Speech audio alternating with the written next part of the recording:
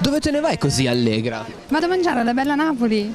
Ah, e certo, ristorante Pizzeria Bella Napoli ti offre la pizza più buona dell'oltrepo pavese. Qualità delle materie prime, ambiente accogliente, velocità ed attenzione al servizio la rendono la meta ideale per una pausa pranzo veloce o una gustosa serata con gli amici. E poi Pizzeria Bella Napoli ti mette l'allegria. Solo a Casteggio in via Vigorelli 1-3, vincitore del certificato di eccellenza TripAdvisor 2015. File chilometriche e record di visitatori per l'Expo. Lo scorso sabato 26 settembre ben 259.093 persone hanno visitato l'Esposizione Universale di Milano, che quest'anno ruota attorno al tema dell'alimentazione. Lei lo ha visitato? Sì, l'ho visitato ma sono rimasto deluso per le grandi code da fare. Tre ore, non si può aspettare tre ore, poi una delusione unica. Ho visitato gli Stati Uniti per vedere che cosa? Un capannone con un terrazzo che si vede l'Expo, un bar che vendeva prodotti italiani, eh, dal Prosecco al cosa, ma di, di americano non c'era proprio niente. Tre ore per, visitare questo stand.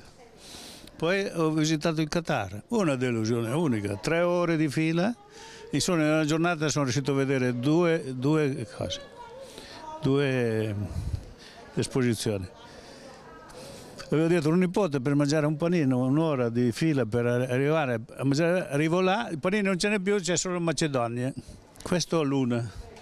Quindi è una delusione unica, un'ora e un quarto per entrare, dopo la metropolitana si saliva, un'ora e un quarto per entrare perché ci sono tutti i metal detector, no? Quindi è stata una delusione unica. Ma guarda, non ancora purtroppo, nonostante abito a 20 minuti da Ro, ancora non, eh, non, sono entrato, però presumo di entrarci diciamo entro la fine, cos'è il 30 al 31 ottobre? Non lo ricordo, sì. Hai già in mente i padiglioni che vorrai visitare? Mm, no, non ancora, però la parte orientale secondo me potrebbe essere la più interessante, per quanto riguarda il mio parere diciamo. E, uh, prima dell'inaugurazione ci sono state un sacco di polemiche eh, riguardo alla data dell'apertura piuttosto che alla sicurezza. Eh, secondo te hai visto il successo adesso della manifestazione? Sono state dimenticate? Mm, ma secondo me sono state un pochettino dimenticate, poi ci sarà sempre una parte che andrà sempre contro a quella che comunque è una manifestazione mondiale e va vissuta con serenità, con gioia e apprezzando tutto quello che è stato fatto. No. Come mai? non mi sentivo e non mi sento di andare all'esport. Quindi non è interessato a questo tipo di manifestazione? Assolutamente, preferisco stare nel mio paese. E comunque è stato un grande successo, comunque i numeri sono stati elevatissimi delle, delle presenze, eh, quindi, quindi, in qualche modo pensa che possa aver fatto mh, dimenticare tutte le polemiche che ci sono state prima dell'inaugurazione? Ma no, ma voi dovete pensare a quello che succederà dopo, non adesso, scusatemi, dopo. Intendo dopo la manifestazione? Hanno costruito con tutte queste costruzioni che ci sono, che cosa succede dopo? Si licenziano tutti, che fanno? Cosa fanno? Dopo cosa faranno?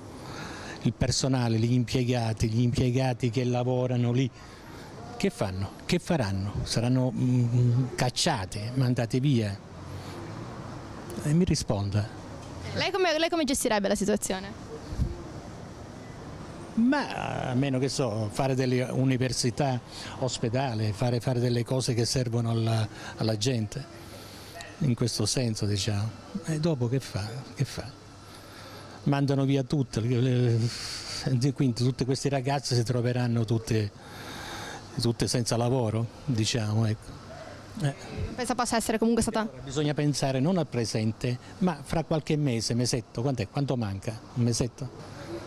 Mi dà una risposta lei gentilmente. È lei che mi deve dare una risposta. Cosa faranno questi, questi ragazzi? Sa? Lo sa lei? Eh, io non lo so, lei cosa, lei cosa consiglierebbe in questo caso? Di cacciare via non questi ragazzi, ma tutta la classe politica. Tutti. Tu? Ti, compreso il sindaco là. Quel sindaco che poi dice che non c'entra niente ma c'entra più degli altri. Intende il sindaco, il sindaco di Milano? Sì, sì, sì, sì, sì, il sindaco di Milano. In merito a che cosa specificatamente? In merito che somiglia, c'è una somiglianza a quello di Roma. Si somigliano. Uno in un verso, uno nell'altro, comunque si somigliano. È la verità, purtroppo. Pensano a loro. Quindi fa riferimento a tutte le polemiche sugli appalti che ci sono state precedentemente? Subappalti, triplo, e così.